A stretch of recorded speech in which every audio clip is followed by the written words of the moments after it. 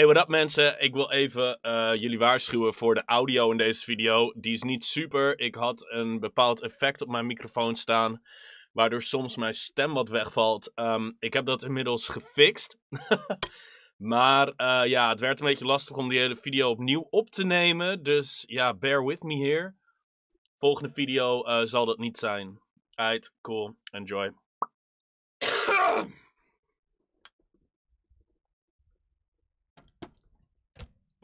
What up mensen en welkom terug bij de Martijn Houttuin Masterclass. Aflevering 4 dit keer. Vandaag gaan we het hebben over Binance. Hoe je kan rentenieren op Binance.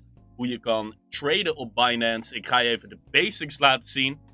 In de volgende video wil ik het hebben over andere platforms waar je kan rentenieren en traden. Dus let's get into it. We gaan nu inloggen op Binance. En ik ga je even een snelle overview geven. Nou, prima. Als je naar Binance.com gaat, zie je dit scherm. Je moet even een accountje maken. Um, ga even naar de link in de beschrijving daarvoor. Dan kan je er via mij in. Waarom? Dan krijg jij ook wat extra voordelen. Um, ik heb er een dubbele authenticatie uh, op staan. Dus elke keer als ik inlog op Binance uh, met mijn username en wachtwoord, moet ik ook deze code geven. Wat is dit nou precies? Um, er bestaat zoiets als de Google Authentication App. Dat kan je downloaden op je mobiel of op je computer zelfs. En je hebt ook nog alternatief, dat heet Authy. Dat is ook tof. Kan je ook beide uh, op, uh, kan je ook op beide downloaden. Zowel mobiel als uh, computer.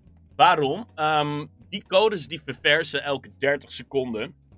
En zijn gewoon een extra laag bescherming bovenop je inloggegevens. Want stel je voor, je hebt hier nou gewoon superveel crypto op staan. En iemand heeft jouw e-mail en wachtwoord, dan zit je er zo in. Maar als jij een e-mail en wachtwoord en die ene code nodig hebt, die om de 30 seconden refreshed op jouw mobiel of op je computer, uh, dan is het nogal lastig voor iemand om daarbij te komen. Los daarvan kan je ook instellen dat je die code weer moet invoeren als je iets uit wil laten cachen, um, et cetera. En je hebt ook vaak nog andere vormen van two-factor authentication. Waarom heet dat two-factor? Nou ja, je hebt dus twee factoren wat jou uh, authenticeert authentificeert. Whatever, you know. so, um, je kan dus ook instellen dat je, um, dat je in plaats van deze code, dat je ook nog je, dat je ook nog een code krijgt via mail bijvoorbeeld. Of via wat dan ook, via belletje. Er zijn een heleboel manieren uh, waardoor jij hier in zou kunnen komen. Wat nog wel belangrijk is aan die codes, is dat op het moment dat jij het instelt, krijg jij ook een backup sleutel. Mocht jij ooit je apparaat kwijtraken waar je die codes op hebt staan. Dus die moet je opschrijven ergens op papier, ergens veilig, ergens waar niemand erbij kan. Je hebt dus ook die andere app genaamd Auti, Authy. Dat is op basis van inloggen, zeg maar. Dan, jij kan ervoor zorgen dat al je codes worden gebackupt door Authy dan. Ik uh, raad het eigenlijk niet aan. Hè? Je kan beter gewoon alles op, op een apparaat hebben staan die goed beveiligd is. Met een, uh, ja, een backup ergens op papier, veilig opgeborgen. Goed, let's get into it. This Binance, als je inlogt. Um, als jij hier naar Wallet gaat, dan zie je een paar verschillende dingetjes. Hè? Spot Wallet, uh, Margin, Margin Wallet, Futures Wallet, uh, Peer-to-Peer -peer Wallet, Savings Asset en Pool Account. Uh, ja, voor nu, waar we even op gaan focussen, Spot Wallet. Wat is spot trading? Spot trading is gewoon heel simpel. Gewoon, oké, ik heb deze pen, jij hebt een euro, hier heb je een pen, ik heb een euro. Spot trading. Dat doe je dus ook met Bitcoin. Gewoon hier heb je één Bitcoin. Geef mij 9000 dollar. Thank you. Dat is de spot market. Gewoon heel basic eigenlijk. En marge is dan met longen en shorten. Dat leg ik later een keer uit. Futures, ja ook. Dat, dat, is zeg maar de prijs voorspellen in de toekomst. Bla bla. Um, Peer-to-peer. Ik moet eerlijk zeggen dat ik niet eens echt weet wat dat inhoudt hier op uh, Binance right now. Savings asset dit is waar jij uh, de winst gaat zien in rente. Dit ga ik je dus zo laten zien. Dus in deze wallet kan je dat zien. Je kan een mining pool joinen op uh, Binance als je wil. Kan je munten storten, kan je mee gaan minen, bla bla bla. Hebben we het allemaal later wel een keer over. Hier hebben we het ook later wel een keer over. Hier hebben we het ook later wel een keer over. Is allemaal nu nog niet zo heel belangrijk. We beginnen gewoon bij Spot Wallet. Um, even een hele simpele overview. Hier links zie je die blokjes enzovoorts. Dit is gewoon het drop-down menu. Exchange is gewoon het Engelse woord, Engelse woord voor beurs. Dus klik daarop. ik, dit is um, een heel simpel, simpele beurs. Dit. En je kan ook naar Advanced View. Hier linksbovenin heb je Spot staan en alle opties voor Spot Market. Zie je dat? dus dit is hoe uh, het er geavanceerde eruit ziet. Dit is gewoon de simpele. Um, dus hier bij Spot heb je Basic, Classic en Advanced. Je zag net Advanced. Wat is Classic eigenlijk? Exact hetzelfde, maar dan gewoon Dark. Exact hetzelfde, maar dan gewoon Dark. We houden het op deze jongens. Deze is super easy. Wat jij hier ziet, hè, uh, al deze rode en al deze groene dingen. Dit is het orderboek. Um, hier zie je wat mensen aanbieden voor welke prijs. Dat is dat rode. En de groene is wat mensen willen kopen tegen welke prijs. Uh, dus hier zie je bijvoorbeeld, hier helemaal bovenin, hè, in deze van de rode, zie je dat iemand wil 0,1 bitcoin kopen voor 8600 dollar. En hier, uh, oh nee, verkopen, sorry.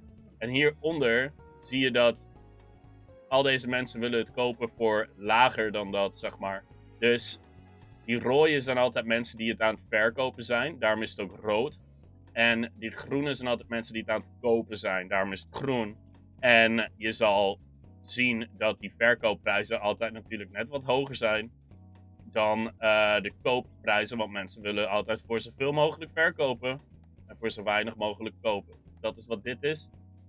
Hier zie je het tabelletje van hoe de prijs is gegaan. Um, hier zie jij hour, day, month. Dus dit is de grafiek voor één maand. Dit is de grafiek voor één week. Hier klik de grafiek voor één dag. Hier heb je uur. Nou, de grafiek voor één uur. Uh, en twee uur. En hoe zie je nou dat dat die grafiek is? Hè? Wat verandert er aan die grafieken?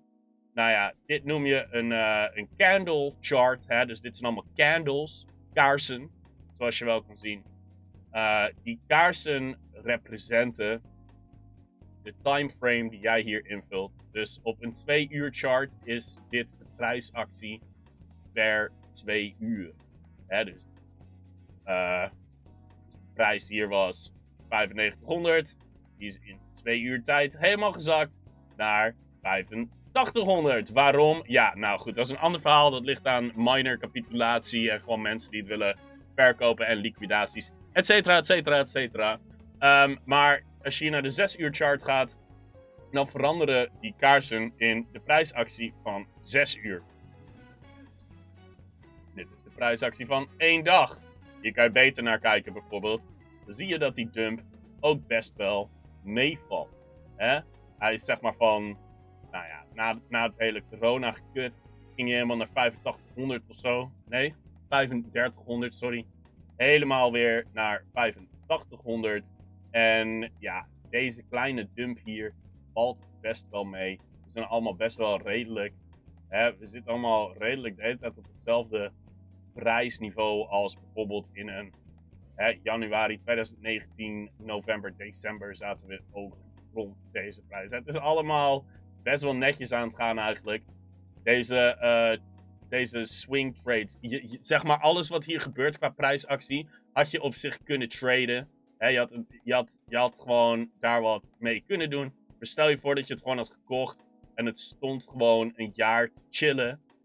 dan had je ook gewoon wel een paar honderd euro winst of zo. Maar um, Bitcoin kan je aanpakken op zoveel verschillende manieren. Je kan gaan daytraden, je kan één keer in de maand een trade doen. Je kan gaan traden weet ik veel, één keer per jaar, zeg maar. Het maakt eigenlijk niet zo heel veel uit. Het is meer, wat is jouw tactiek, wat ga je doen? Goed, hier heb je de, we de weekchart. Hier zie je dus ook elke candle uh, ja, staat gewoon voor één week. Hè? Dus dit is een week, week, dit is een week, dit is een week, dit is een week. Is allemaal de prijsactie in een week tijd. Wat zijn die dingen hieronder? Dit is het volume. Dit is zeg maar met, met hoeveel uh, bitcoin er dan tegelijkertijd nodig was om zeg maar deze candle te maken. Is voor nu ook nog even iets minder belangrijk, maar je ziet dat hier bijvoorbeeld heel veel volume is, hè? veel trading volume. En hier gaat dat volume wat omlaag en zo. Dus je kan zeg maar zien uh, op welk, welke dag, welke tijd, hoeveel volume, hoeveel activiteit was er zeg maar. Hoeveel bitcoins zijn verkocht, hoeveel bitcoins zijn weer teruggekocht. Dat kan je allemaal zien op die volume chart hieronder. Er staat ook bij VOL hier. Staat hier zo. Is een beetje klein. Maar dat is dus uh, volume. En dit hieronder is weer een andere indicator. Gaan we het nu ook nog even niet over hebben. Gaan we het later wel over hebben. Goed, in ieder geval. Uh, dus dit is hoe je kan traden hier zo. Dus stel je voor je wil een bitcoin kopen. Voor, stel je voor je wil deze. Voor 8591 dollar. En je wil 1. Dan klik je dat hierin. Je typt gewoon in de prijs die je wil. En de hoeveelheid die je wil. Je klikt op Buy BTC. Dan uh, koop jij het. En hier bij Sell is het eigenlijk exact hetzelfde. Uh, stel je voor je wil hem verkopen voor 9000 zometeen. Uh, en je wil gewoon één hele bitcoin verkopen. Dan klik je op Sell. Um, en dan komt hij hier in het orderboek te staan. Hier dus. Je kan ook wel zien dat er meer mensen zijn die dat orderboek. Uh, zeg maar, je kan omhoog scrollen in het orderboek. Zo dan zie je dat er ook zeg maar, best wel mensen zijn die hem aanbieden voor 9000. Zeg maar. Hier. Iemand op 10.000 biedt het aan, enzovoorts, enzovoorts, enzovoorts. Je kan helemaal kijken in het woordenboek wat er aan de hand is. Met deze twee knopjes hier zo. Dit knopje zie je zeg maar, nou gewoon deze standaard overview. Als je op deze klikt zie je alleen iedereen die het aanbiedt. Dus je op deze klikt zie je alleen iedereen die het wil verkopen. En je kan gewoon omhoog scrollen. En bij dat zeg maar iedereen die Oh, ik zei die het aanbiedt die het zeg maar wil kopen. Dus zeg maar iedereen die, die het aanbiedt om te kopen. Oké, een beetje gek.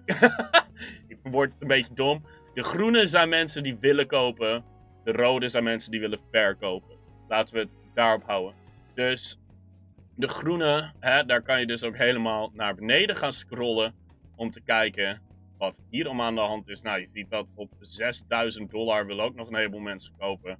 Dus hier kan je ook altijd naar kijken wat er gaande is. Hè? En hoe de weerstand bijvoorbeeld is. Hoe sterk is die weerstand op bepaalde prijzen. En uh, hier eigenlijk exact hetzelfde. Zeg maar, als ergens heel veel bitcoin staat, dan weet je dat daar iets van een muur zit. En door die muur moet je altijd dan heen. Wil de prijs omhoog gaan. En dat geldt eigenlijk exact hetzelfde als de prijs bijvoorbeeld omlaag moet gaan. Dan moet je ook dus zo'n muur heen, zeg maar. Dus Anders kan die prijs daar niet heen.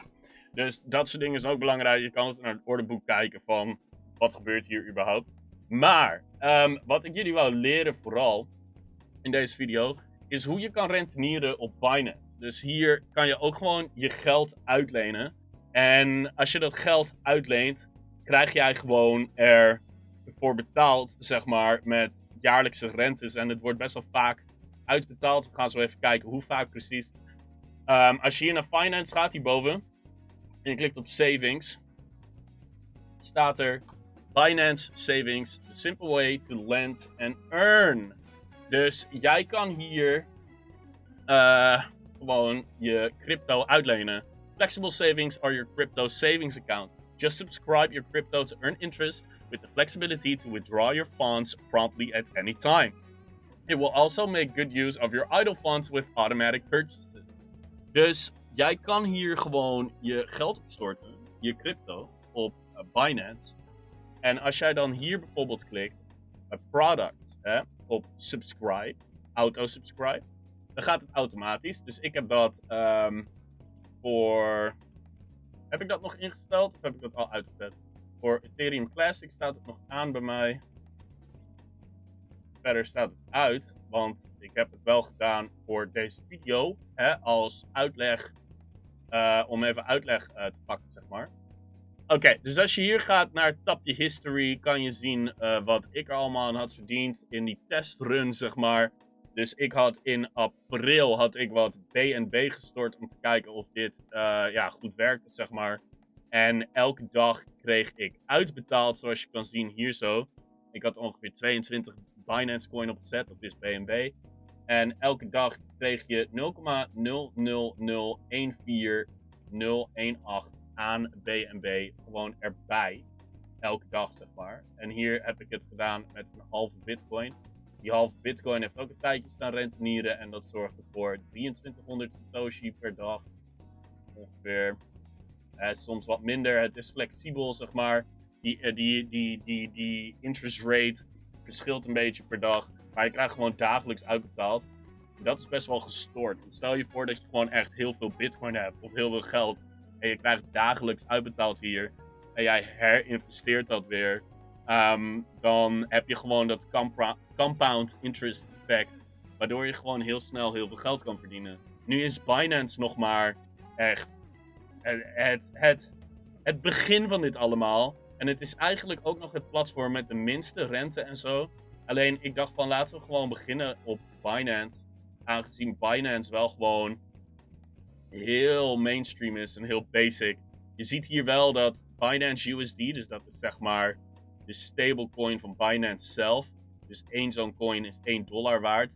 Heeft wel gewoon 7,5% hè, per anno, dus gewoon per jaar. Dat is echt, dat is echt wel veel. EOS heeft 4,8 en zelfs Tether heeft 6,7. Dus uh, de, de stablecoin van Bitfinex heeft gewoon 6,7 per jaar. En dat is wel crazy. Even kijken hoor. Dit is dus wel locked savings. Hè? Dus hier moet je het wel opsluiten. Hier bij flexible savings is het verschil dat jij altijd kan zeggen van hey guys, ik wil niet meer. Dat heb ik dus ook gedaan. Dat gaan we nu ook even checken. Want als je hier dus gaat kijken naar mijn history en dan naar redemption. Hier zie je dat ik het geld gewoon terugkreeg. Dus 17 april heb ik al mijn Binance coin teruggevraagd. En letterlijk een uurtje later stond dat allemaal alweer terug op mijn Binance account. Um, even kijken, 25 april heb ik al mijn bitcoin weer teruggevraagd. Gewoon die halve. En die had ik ook weer terug. En je kan zelfs kiezen voor fast of standard, zeg maar. Alleen zelfs de standard um, zorgde ervoor dat ik het al heel snel terug had. En dat is eigenlijk hoe uitlenen op Binance werkt. En ik denk dat dit eigenlijk al wel een heel goed einde is voor deze video. Om gewoon, hè, dan kan je even wegwijs worden met Binance. Je, weet eigenlijk hoe je moet traden op Binance. Je weet hoe je uh, rente kan verdienen op Binance. En wie weet moet ik nog even uitleggen, um, nou ja, herhalen eigenlijk hoe je je geld stort op Binance. Dus hier bij Wallet, Spot Wallet, kan je dus gewoon naar deposit gaan, hier links. En jij klikt op welke coin jij wil storten. Uh, hier krijg je altijd je adres. Dit adres kun jij gebruiken om uh, je geld heen te storten. En zorg ervoor dat je dat goed kopieert. Wees niet die persoon die dit helaas verkeerd aanpakt. Want als je dit gewoon verkeerd um, ja, kopieert, dat wordt toch wel echt een groot probleem. En um, ja, ik ga even verder met mijn dag. Ik heb nog heel veel te doen. Maar um, ik kom even snel terug met Masterclass 5. Er gaat nu even tempo in komen. Um, ik maak de video's enorm praktisch. En ook gewoon dat het er wel met tempo uit kan. Dus dat betekent dat ik zelfs op dagen dat ik me misschien wat minder voel, uh, zoals vandaag, wil ik alsnog gewoon dat soort dingen doen, zeg maar. En eh, ja, weet je, de grap is. Hè, dus dat betekent dat zelfs op dagen dat ik me misschien wat minder voel, hè, zoals vandaag, dat ik gewoon even moe ben en even niet per se heel, erg, heel erg veel zin heb hierin. ga ik het toch even uitleggen. Um, ik wil even tempo in flikkeren, zeg maar. Echt tempo. En in de volgende video, de volgende video is wel hype trouwens. Want ik ga jullie uh, twee platforms laten zien. Waar je ten eerste enorm wat gratis geld kan verdienen. Puur met je eigen registratie. Dus hun referral system is echt, echt sick gewoon. Dus dat is chill. En die video wil ik er deze week ook uitknallen. Um, en het zijn ook nog platforms waar je gewoon ziek kan rentenieren, zeg maar. Dus dat wordt, dat wordt sowieso super tof. Uh, los daarvan, jongens, als je als je het leuk vindt om te zien wat ik verder ook nog doe in mijn leven. Ik heb net ook een video gereleased op mijn Martin Garden kanaal. Ehm, ja, dat is een gaming kanaal. En deze video gaat dan over. Over, eh, over zeg maar. Dat, dat Mario 64 net was gelekt voor de PC enzovoort. En dan bespreek ik dat en hoe je dat moet installeren. En, en hoe je dat moet spelen enzovoort. En dat vind ik dus echt super leuk om te doen, zeg maar. Dus dat is echt mijn passie, dat soort dingen. Dus als je dat tof vindt, hè, link in de beschrijving. Martin Garden op YouTube vind ik ook echt super chill. Ik ga daar ook even mee verder, zeg maar, met dat kanaal right now. Um, los daarvan hoop ik dat jullie, uh, ja, geld verdienen in deze periode. Ik hoop dat je je voordeel van dit, van deze prijsvolatiliteit, ik hoop dat je dat kan gebruiken in je voordeel. Ga niet schrikken van zulke dumps of zo. Hè, dat is in Bitcoin heel normaal. En um, hij staat alsnog hoger dan, dan de eerste video die ik had gemaakt hier zo, bijvoorbeeld. En je kan altijd natuurlijk gewoon kopen en wachten. En ik zou ook gewoon echt kopen en wachten. Koop gewoon elke maand wat bitcoin. Hè, met wat extra geld. Hè. Ga al deze gratis uh, geldtactieken gebruiken die ik hier leer. En ik kom nog met veel meer info. En uh, ja man, ik hoop dat jullie een hele leuke dag hebben verder. En ik zie jullie snel. I'm out.